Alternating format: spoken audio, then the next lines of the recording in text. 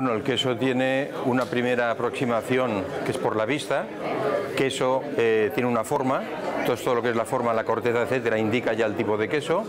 Hay que saberlo cortar, abrir, ver eh, su color interior, textura, agujeros, tipo de fermentación, etcétera. Y a continuación pasa todo lo que es la parte en boca, donde allí se ve claramente ya el tipo de producto. Como comentaba José Luis Galván ayer, al final la parte de boca es la que va a valorar más el cliente y es lo que luego dice compro o no compro.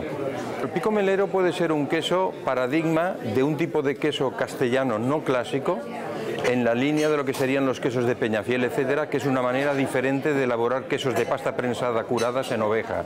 Entonces, igual que hay castellano, zamorano, manchego, etcétera, en una línea, el tipo picomelero, que hay otros elaboradores en Castilla, León principalmente que lo elaboran, tiene algo más de acidez, toques cítricos, muy agradable, que es una familia nueva dentro de una de las grandes familias de queso en España. Pues.